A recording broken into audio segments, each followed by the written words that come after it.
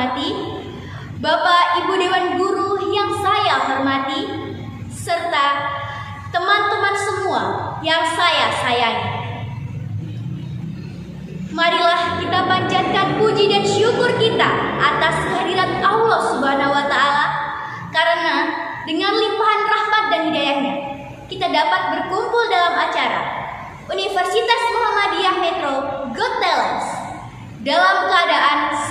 sehat walafiat.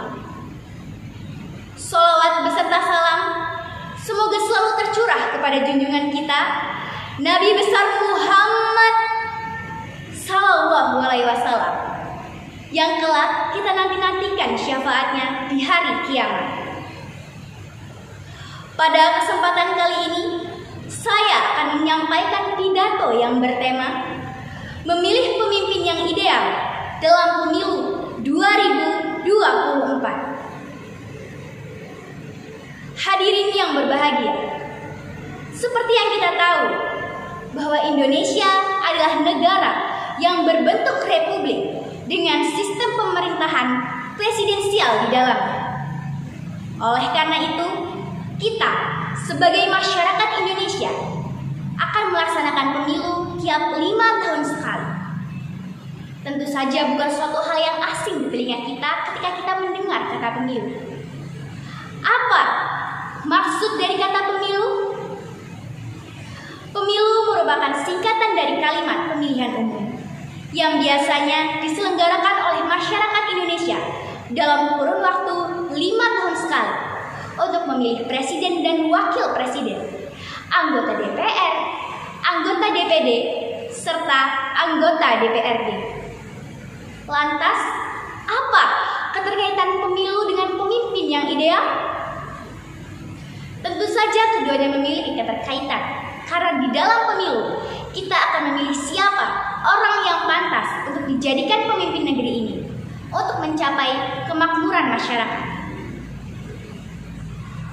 Teman-teman yang saya sayangi, menjadi seorang pemimpin bukanlah suatu hal yang mudah, tapi seorang pemimpin yang baik akan memudahkan segala cara untuk memakmurkan masyarakat yang diembannya. Seorang pemimpin yang baik akan mementingkan kepentingan masyarakat dibandingkan dengan kepentingan pribadinya. Namun, mirisnya masih banyak sekali kasus yang menjerat kalangan pemimpin yang kian marak diperbincangkan di media massa, seperti korupsi, pembunuhan, narkoba, dan masih banyak lagi. Sebagai masyarakat yang awam, wajar saja ketika kita merasa bingung oleh ulah tikus-tikus berdasi yang tidak bertanggung jawab tersebut. Namun, itu bukanlah suatu penghalang untuk kita bebas memilih siapa pemimpin yang ideal dalam pemilu 2024. Banyak sekali cara yang dapat kita lakukan untuk memilih pemimpin yang ideal.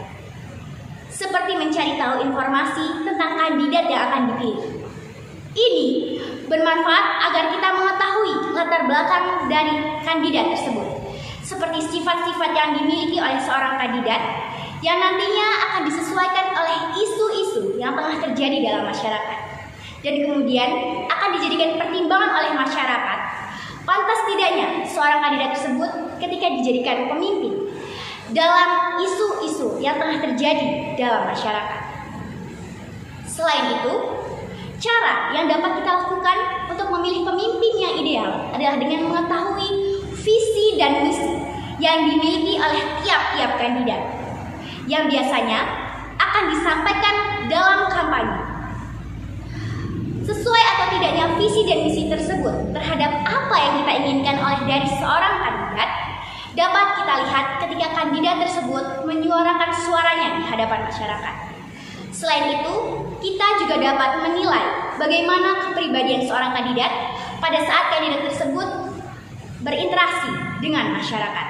Sehingga kita dapat mengetahui ideal atau tidaknya seorang kandidat tersebut apabila dijadikan pemimpin dalam pemilu 2024. Hadirin sebangsa dan setanah air. Kita sudah mengetahui beberapa cara untuk memilih pemimpin yang ideal dalam pemilu 2024. Oleh karena itu, kita sebagai generasi muda yang baik harus bisa mengimplementasikan cara-cara tadi dalam pemilu 2024 mendatang. Kita perlu mengingat bahwa negara yang maju bukan hanya berasal dari pemimpin yang baik, tetapi negara yang maju juga berasal dari masyarakatnya yang cerdik. Jalan-jalan ke kota Kendal, tidak lupa membeli ketupat.